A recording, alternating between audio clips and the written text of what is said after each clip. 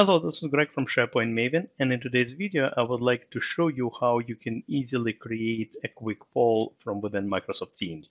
A poll, of course, is uh, essentially one question survey. So if you want to get an opinion from your team members, there is a really easy way to do it uh, if you're in Teams. Let me show you. So all you need to do is just hit new conversation. And then if you click on three dots, uh, what you have to do is choose the Forms app uh, and I will actually explain to you why, but uh, essentially you choose forms.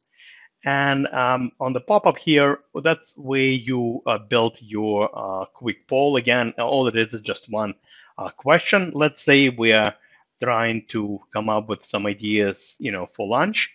Uh, we want, you know, pizza or buffalo wings. All right, here we go. Two of my favorite.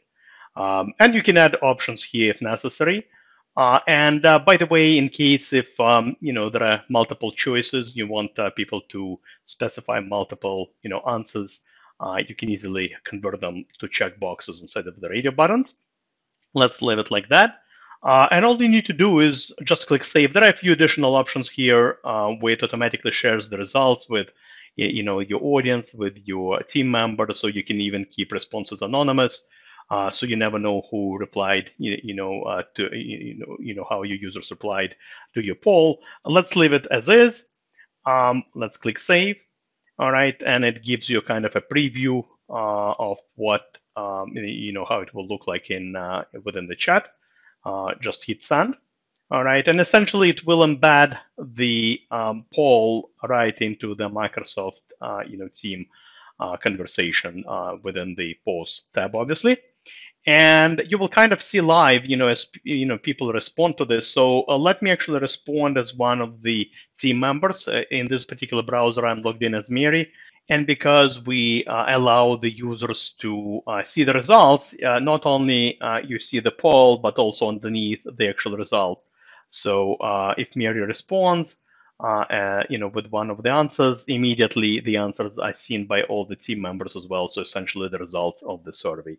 And of course, if I now go back to my screen, I get to see the same information. I guess I can also uh, submit my vote. All right, here we go. And once again, you will get to see the results live. Now, let me actually show you what happens behind the scenes. All right, so if I go to uh, Microsoft 365, remember when we added this, um, um, you know, poll, right? We actually chose uh, the Forms application. Uh, so if I now uh, click on uh, my Forms application, what actually happens behind the scenes uh, is uh, when you create a new poll in Teams, uh, what happens, a new form is created uh, within Microsoft Forms account. Um, so let me click on all my forums over here. And look at this. Uh, here is a form that got created uh, when I created this poll in Teams. And essentially, it's a one question survey. And what's interesting about this particular form is that uh, you cannot edit it, all right? Unlike other forms that you manually create uh, from within Microsoft Forms, this one is read-only, essentially, right? Uh, it's a done deal.